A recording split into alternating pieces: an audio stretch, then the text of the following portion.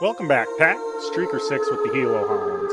Earlier today, WAGS put out a video fielding questions about DCS World performance improvements that are already here and those that are coming in the future. If you would like to watch the original video, I have it linked in the description below.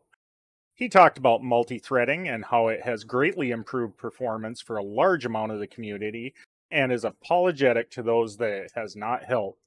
The focus on multi-threading this year was optimizing performance to the graphics layer, so the logic layer will be optimized in the future, but not likely anytime this year.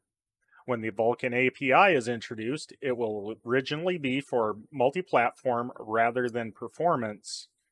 FSR2 and 3 also rely on the Vulkan API or DirectX 12, which ED does not use and have no intentions of using at this time. So for now, FSR1 is all we have when it comes to FSR.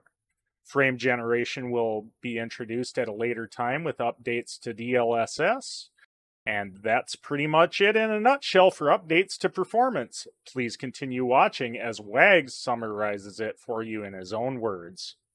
I think probably one of the big takeaways from this video is that performance is not just a single effort is divided between multi-threading, graphics layer, logic layer, DLSS, FSR, uh, Vulkan, uh, engine performance, and probably have other different optimizations.